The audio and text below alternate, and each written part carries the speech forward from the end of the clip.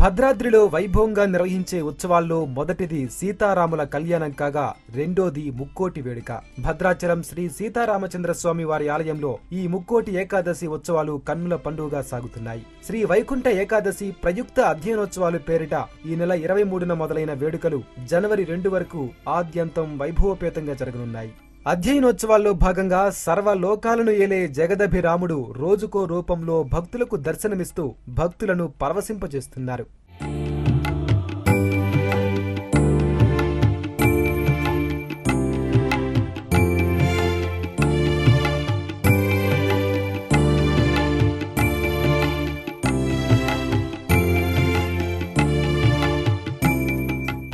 ప్రతిరోజు ప్రధాన ఆలయం నుంచి మేళ తాళాలు మంగళ వాయిద్యాల నడుమ చిత్రకూట మండపం వద్ద భక్తులకు దర్శనమిస్తున్నారు. రోజు స్వామివారికి ధనుర్మాస పూజల్లో భాగంగా బేడా మండపంలో ప్రత్యేక పూజలు జరుపుతున్నారు. ఆలయం వద్ద నుంచి పవిత్ర గోదావరి నది వద్దకు తీసుకెళ్ళి అక్కడి నుంచి మిథిలా స్టేడియం వద్దకు వెళ్ళి అక్కడ వేచి ఉన్న భక్తులకు రాములు వారు దర్శనమిస్తున్నారు. ఇప్పటి వరకు మత్స్యావతారం కూర్మావతారం వరాహావతారం నరసింహావతారం వామనావతారం పరశురామావతారం. శ్రీరామావతారంలో దర్శనమిచ్చిన రాములోరిని దర్శించుకుని భక్తజనం పులకించిపోయింది.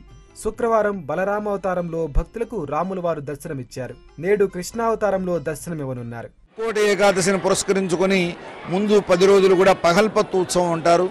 ఈ పగల్పత్తు ఉత్సవ సమయంలో పెరియాళ్ళవారు మొదలుకొని ఆళ్వారులంతా తిరుమంగ ఆళ్వారు రాసిన పాసురాల వరకు కూడా ప్రతిరోజు విన్నపం చేయడం జరుగుతుంది. ఈ విధంగా ఈ పది రోజుల పాటు తొమ్మిది రోజులు తొమ్మిది అవతారాల్లో స్వామివారు అద్భుతంగా దర్శనాన్ని ఇవ్వడం జరుగుతుంది. ఈ తొమ్మిది రకాల అలంకారాలు చేస్తారు.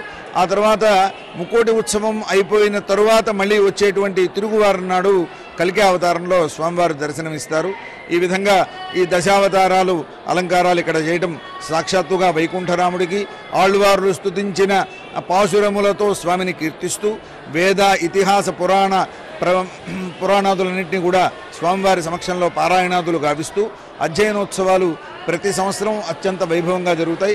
అదేవిధంగా ఈ సంవత్సరం ముక్కోటి ఏకాదశిని పురస్కరించుకుని అధ్యయనోత్సవాలు జరుగుతున్నాయి. వైకుంఠ ఏకాదశి ప్రయుక్త అధ్యయనోత్సవాల్లో భాగంగా ప్రధాన ఘట్టాలైన తెప్పోత్సవం ఉత్తర ద్వారదర్శనం కోసం భద్రాద్రి సర్వాంగ సుందరంగా ముస్తాబైంది. జనవరి ఒకటిన సాయంత్రం గోదావరి తీరంలో నిర్వహించే తెప్పోత్సవం వేడుకతో పాటు జనవరి రెండున తెల్లవారుజామున జరగనున్న ఉత్తర ద్వారదర్శనం కోసం ఆలయ అధికారులు అన్ని ఏర్పాట్లు పూర్తి చేశారు. కరోనా కారణంగా రెండేళ్ళ తర్వాత జరుగుతున్న ఈ వేడుకలను భక్తుల మధ్య వైభవంగా నిర్వహించేలా చర్యలు చేపట్టారు. ముక్కోటి ఉత్సవాల్లో ప్రధాన ఘట్టాలైన ఈ వేడుకలు తిలకించేందుకు భారీగా తరలిరానున్న భక్తులకు ఎలాంటి ఇబ్బందులు లేకుండా ప్రణాళికలు రూపొందించారు.